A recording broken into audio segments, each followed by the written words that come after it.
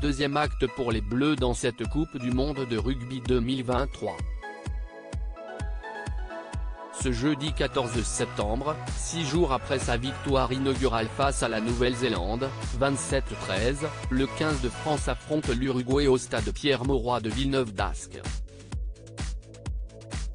Aucun doute, les supporters pourront entendre dans les tribunes une chanson qui n'est pas inconnue du grand public, dans les yeux d'Émilie de Joe Dassin.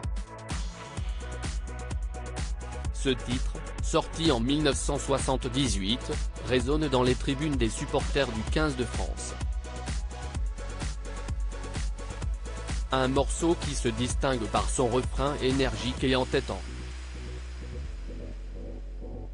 Il y a un peu plus de 5 ans, le tube s'était déjà imposé dans les tribunes du stade toulousain, où il est désormais impossible de ne pas l'entendre dans les tribunes.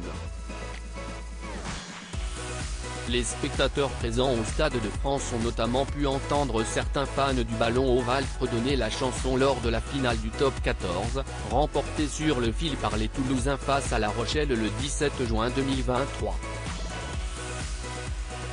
Cet engouement a conduit le morceau à poursuivre son chemin jusque dans les férias du sud-ouest, dans les fêtes de rue, où il est scandé par des foules en délire. Mais ce n'est pas tout. Le célèbre titre s'est aussi imposé sur les réseaux sociaux, au point de devenir tendance sur TikTok. Coupe du monde de rugby, qui sont les femmes et compagnes des joueurs de l'équipe de France Le fils de Joe Dassin réagit si Joe Dassin n'est plus là pour voir son titre chanté dans les stades, son fils quant à lui n'a pas manqué de remarquer l'engouement. Julien Dassin, le deuxième enfant de Joe Dassin, se réjouit d'assister à ce regain de popularité du titre de son défunt père. Interviewé par Le Parisien pour leur édition du mercredi 13 septembre, le frère de Jonathan Dassin s'est dit fier et bluffé de voir que ce titre marque encore les gens tant d'années après. On est tout tombé des nues devant cet engouement, devant ces images délirantes de minots de 20 ans qui se déchaînent sur cette chanson. C'est comme si le titre était neuf, a poursuivi celui qui a sorti en 2012 l'album hommage à son père Monsieur Montand.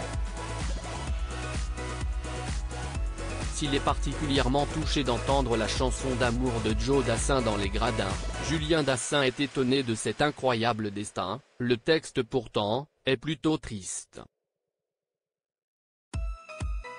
Mais la musique gomme le côté nostalgique de cette histoire d'amour qui s'achève, qui retourne à l'hiver. Je crois que ce qui parle dans les chansons de mon père, c'est leur côté universel. Combien de gens m'ont raconté leur rencontre avec leur conjoint ou leur conjointe sur l'été indien? A-t-il conclu?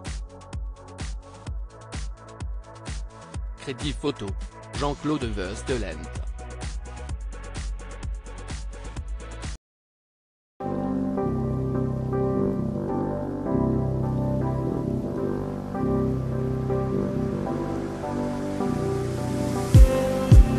just me.